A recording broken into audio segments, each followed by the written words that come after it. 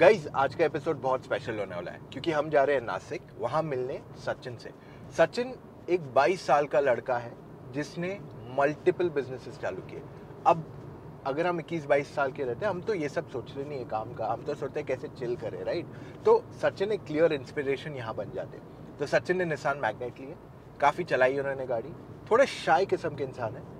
But हम उनसे maximum information निकालने की कोशिश करेंगे ताकि हम आपको उनका ओनर्स रिव्यू पहुँचा सकें। अगर आप भी अपने गाड़ी का रिव्यू हमारे साथ शेयर करना चाहते हैं वी आर ऑलवेज अवेलेबल चले जाइए motoroctane dot com slash my story वहाँ जाके आपके और आपके कार के डिटेल्स भर दीजिए एंड कॉल टाइम बुक कीजिए। It's as simple as that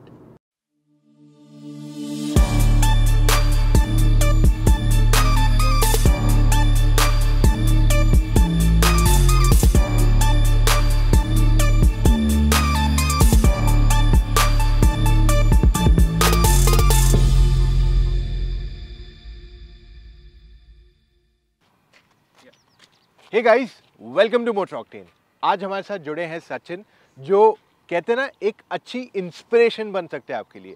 इनकी उम्र 22 साल की है एंड ये ऑलरेडी बिजनेसेस चला रहे हैं। आपने सही सुना ये बिजनेसेस चला रहे हैं और फ़र्स्ट जनरेशन ऑन्टरप्रेनर ऐसे नहीं कि फैमिली बिज़नेस को चला रहे बिल्कुल नहीं।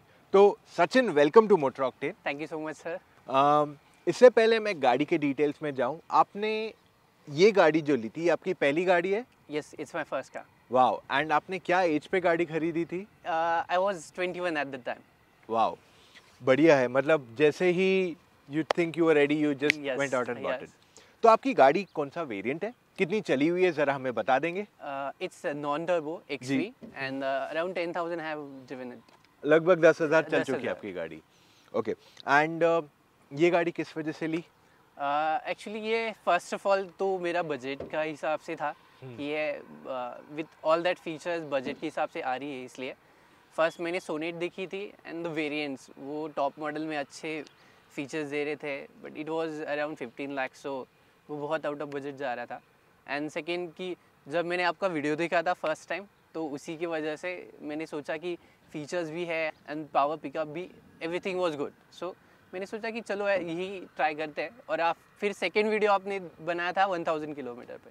मैंने सोचा रचित सर भी बोल रहे कि it's good package deal for the small car so इसलिए मैंने निशान पे ट्रस्ट करके ले ली। And it's Japanese brand so I don't have to worry about the quality also हाँ दैट्स ट्रू वो सब मामलों में आपको टेंशन की Yes. ज़रूरत नहीं है। सो आप ये कह रहे हो कि आपका बजट बेसिकली आपको एक सर्टेन रिक्वायरमेंट थी कि मुझे एसयूवी ही लेनी है।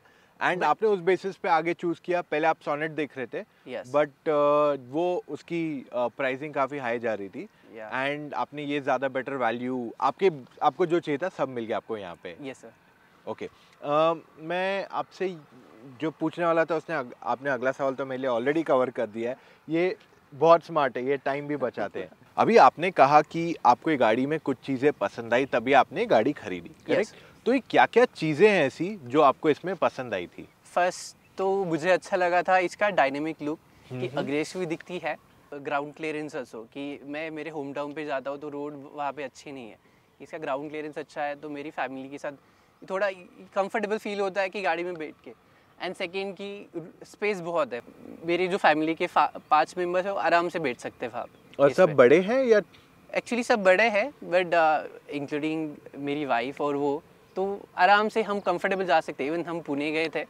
तो मेरे बीबी का कैरियर भी लेके गए थे हम पीछे। ओके तो he was comfortable over there also so that's why and second thing कि 1000 सीसी का इंजन है तो मुझे लगा कि पावर पिकअप भी थोड़ा आएगा but after I drove that तो मुझे उसका भी कुछ प्रॉब्लम नहीं आया। तो आपने जो चलाई है गाड़ी जनरली आपने कहा पावर का आपको लगा बट हुआ Yes. नहीं। बट मतलब ये आपको कहाँ पता चला कि हाँ ये पावर अच्छा है वो सिटी में था या हाईवे पे भी हाईवे पे भी था एक्चुअली। Uh, जब मैंने अराउंड आई थिंक मैं 146 पे टॉप स्पीड पे लेके गया था अच्छा। मैं वो रिकमेंड नहीं करूँगा एक्चुअली हाँ। मैं अकेला था तभी तो वो वो भी बहुत मुझे लगा कि जाएगा नहीं बट उसका कंट्रोल भी बहुत अच्छा था एट 146 तो इसकी वजह से भी तो आप जब चला रहे थे तो आपको पिकअप भी अच्छा था Pickup भी अच्छा था उसका। एंड आप जो कह रहे हो कि हैंडलिंग मतलब जो स्टेबिलिटी बोलते हैं जिसको हाई स्पीड हाँ। पे वो आपको थी कॉन्फिडेंस था ऐसे नहीं कि आपको लगा कि गाड़ी छूट रही है हाँ वो, नहीं feel था नहीं वो नहीं था मुझे तो वहाँ आपको लगा कि ये वन वन लीटर जो इंजन है वो Perfect. for it's enough for me actually i don't know about the other Hmm. but ये मु- मेरे लिए ठीक था एंड आपने कहा जो अ, पाँच लोग बैठ के गए हैं अ, कुछ उसके बारे में बता सकते हैं मतलब जैसे मैंने तो आपसे पूछ लिया आपने मेरे को हाँ, बताया नहीं बरोबर से okay. लेकिन थोड़ा और बताएँगे उसके बारे में तो अच्छा रहेगा कि पाँच लोग जो आपने कहा बैठ के गए अ, क्या वो सब बड़े थे या यू नो थोड़े दो तीन बच्चे थे ऐसा कैसा था वो? Uh, पाँच लोग अराउंड मैं और मेरी वाइफ थी um, 22 22 and my father-in-law and my uh, and uh, his wife so and uh, his her brother also. Okay तो हम तो पाँच पाँच लोग थे। पाँच लोग थे। हम्म, तो हम पुणे गए थे तो वो कंफर्टेबल राइड थी हमारे लिए। कुछ ऐसे लगा नहीं कि कहीं पे अ, कुछ स्पेस कम पड़ रही है। और इवन ऐसे कंफर्टेबल गए हम अराउंड थ्री आवर्स का ट्रैवल हमें लगा नहीं कि बहुत ज़्यादा था ऐसे। तो और ये कंफर्टनेस बहुत अच्छा था। और पिकअप कैसा था तभी? पिकअप भी स्टिल कि उनका वेट भी थोड़ा ज़्यादा था बट स्टिल पिकअप भी बहुत अच्छा था। उसके हिसाब से भी। हम around I think four fifty K G का वेट था हमारा। अच्छा। तो and, तभी भी ठीक था। एंड डिक्की भी भरी हुई थी? Yes with luggage around I think forty K G का लगेज था हमारा। तो गाड़ी ने कुछ स्ट्रगल नहीं किया कहीं कुछ स्ट्रगल नहीं किया कहीं पे भी नहीं। ऐसे लगा नहीं कि लैग हो रहा है कि बिकॉज़ ऑफ़ पैसेंजर बट ऐसे कभी नहीं लगा। कभी नहीं कभी नहीं लगा। ओके अम, तो आपकी स्ट्रॉन्ग पॉइंट्स आपने कहा मेन ग्राउंड क्लियरेंस था। First ground clear because of the roads. कि उस रोड मेरे होम टाउन के वहाँ पे अच्छे नहीं है।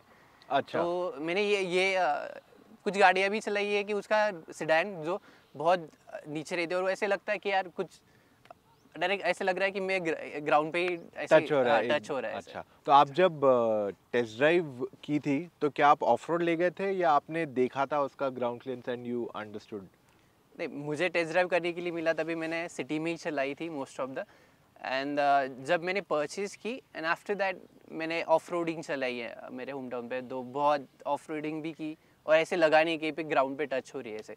It was comfortable ride even in off road also अच्छा तो कहीं भी आपको कुछ प्रॉब्लम बिल्कुल नहीं फेस हुआ। कहीं पे भी नहीं। Okay okay. अब गाड़ियों के प्लस पॉइंट होते हैं तो नेगेटिव भी होते हैं। Yes yes. तो आपको इसमें ऐसा क्या लगा है जो बेटर हो सकता था? I think little bit engine noise but it's comparable कि कहीं पे मुझे लगता नहीं कि मैंने कभी टॉप स्पीड पे या हाईवे पे थोड़ा विंडो ओपन कर दिया तो इंजन का थोड़ा नॉइस आता है बट अभी मुझे लगता नहीं कि यार इट्स अंडरस्टैंडेबल ओनली जब विंडो खोलते विंडो ओपन करते वरना बट। कैबिन में कुछ आता नहीं ना। ओके वरना it's a quiet car yes it's quiet car okay तो इंसुलेशन खराब हो जाता है जब विंडो हाँ, खोलते हैं आई थिंक तभी इसी वजह से। और कुछ ऐसा फीचर है मतलब आपने मैं आई एम श्योर आपने स्टडी किया होगा पूरी गाड़ी हाँ। खरीदने से पहले। बट खरीदने के बाद पता चला ये भी फीचर है इसमें। आई थिंक इट्स मुझे एंड्रॉयड ऑटो प्ले का इतना आइडिया नहीं था। हाँ। इतना इंटरफेस ट्रांसपेरेंट हुआ कि इतना जल्दी से कनेक्ट हो जाएगा। और मैं मुझे कनेक्ट करने की ज़रूरत नहीं पड़ती। मैं जब ऑन करता हूँ गाड़ी ऑटोमेटिकली कनेक्ट हो जाता है। इट्स गुड फीचर कि मुझे तभी पता नहीं था कि मैंने एक्चुअली देखे ही नहीं थी इसलिए। तो वो फीचर बहुत अच्छा है कि मुझे कहीं पे बटन प्रेस करने के लिए ज़रूरत नहीं है यहाँ पे टच करो फिर ये कनेक्ट करो। वो फीचर मुझे बहुत अच्छा लगा। हाँ ये आई थिंक जब वो वायर्ड सिस्टम होता है गाड़ियों में हाँ, में जनरली wire वो करो, बहुत- लेके जाओ और बहुत लोगों ने क्योंकि वो एक्सपीरियंस नहीं किया एंड्रॉयड ऑटो तो उनको पता नहीं रहता कि वो एंड्रॉयड ऑटो एप्पल कारप्ले चलता कैसे है। यस बट जब उनका वायरलेसली ऑटोमेटिकली कनेक्ट हो जाता है तब पता चलता है ये तो बहुत ये ये बहुत इजी प्रोसेस है और कुछ कुछ करने की ज़रूरत नहीं पड़ती सिर्फ़ स्टार्ट करो अपना ऑटोमेटिक और म्यूज़िक भी वहीं पे रिज्यूम हो जाता है जब हम लास्ट टाइम सुन रहे हो। हाँ म्यूज़िक नेविगेशन सब उधर ही आ जाता है। So I think that's what strong point is yes आपने जब ये गाड़ी खरीदी बाय द वे ये शायद इंडिया के सबसे यंगेस्ट ओनर मैग्नाइट ओनर बने हैं। So that's again another record जो आपके नाम पे लग गया। थैंक यू सो मच अभी हमने गाड़ी के बारे में तो काफ़ी चीज़ें बात की है। अ, आप बताइए आपका सेल्स एक्सपीरियंस कैसा था डीलरशिप पे? बहुत टेरिफिक था एक्चुअली मैं अ, मैंने गुजरात से परचेज़ की है क्योंकि नासिक में फ़र्स्ट वेव के बाद उन्होंने शोरूम चालू ही नहीं किया। नोन पर्सन थे गुजरात में प्रमुख निशान से। तो वो जो ओनर थे तो उनसे ही कांटेक्ट करके मैंने बोला कि मुझे जल्दी से जल्दी गाड़ी चाहिए। तो वहाँ से मैंने गाड़ी ली मुझे सिर्फ़ पिकअप करने के लिए जाना था। तो मैंने वहीं से परचेस की प्रमुख निशान से। तो आपका सेल्स एक्सपीरियंस कैसा था? बहुत सुपर था actually even first servicing around one thousand kilometer थी। तो उसके लिए भी मैं नासिक से गया था उनके पास।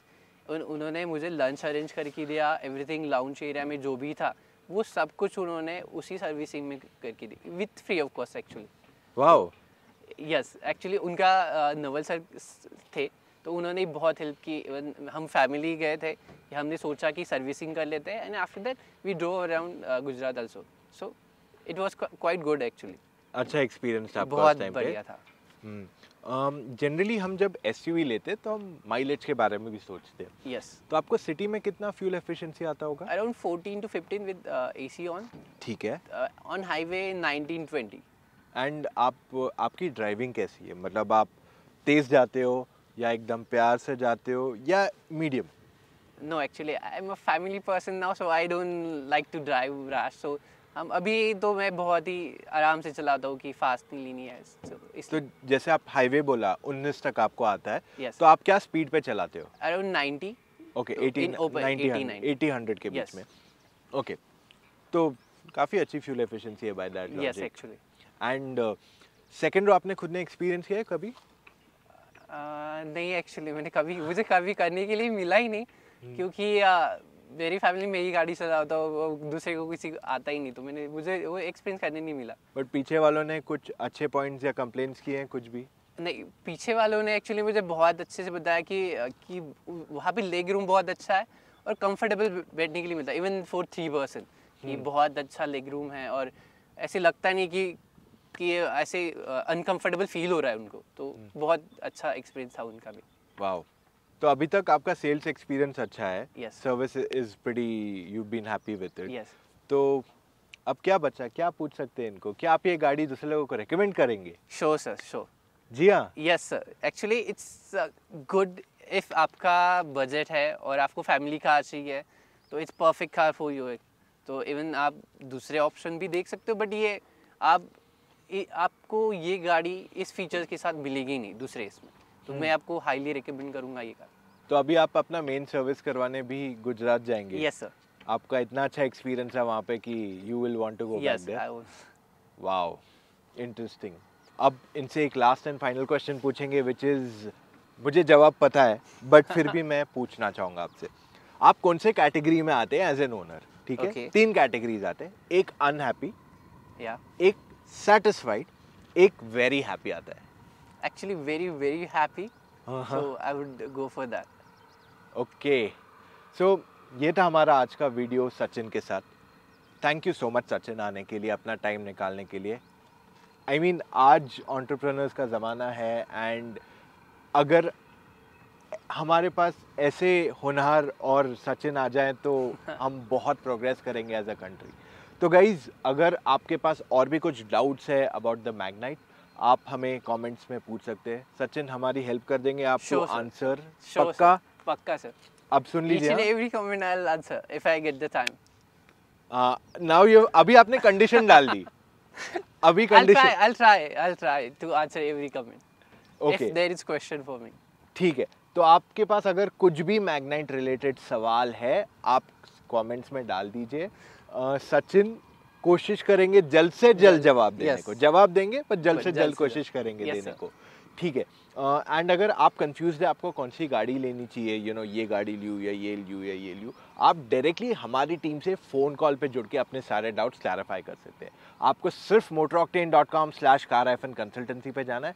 वहाँ जाके अपने कुछ डिटेल्स भरने एंड कॉल टाइम बुक करना। It's as simple as that अब इतना वीडियो देखा है एक लाइक तो बनता है। और सब्सक्राइब करना मत भूलिए to the Motor Octane YouTube channel तो यहीं ख़त्म कर दे वीडियो को Yes, sir. चलो बाय गाइस Bye.